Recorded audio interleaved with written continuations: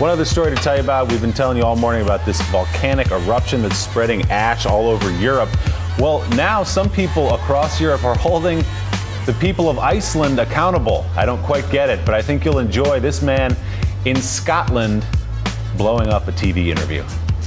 You only found out when you got to the airport. You didn't know in your hotel. Or, I hate Iceland!